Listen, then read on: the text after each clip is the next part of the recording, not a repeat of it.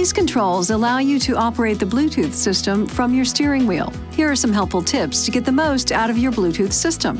For recommended phones and detailed instructions for connecting a compatible cellular phone, please visit www.nissanusa.com/bluetooth. When using the Bluetooth system, keep the interior of your vehicle as quiet as possible. Close windows and direct air vents away from the roof in your face.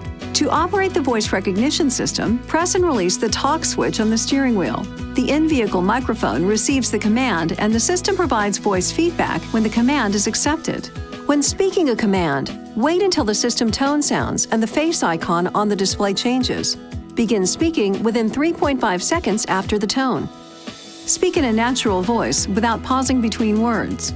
You can push the talk switch to skip prompts at any time. The help command can be used at any time to hear a list of available commands.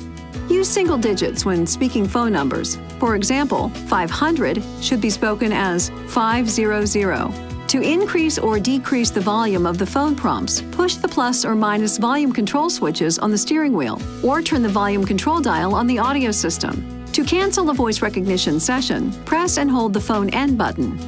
Please see your owner's manual for important safety information, system limitations, and additional operating information.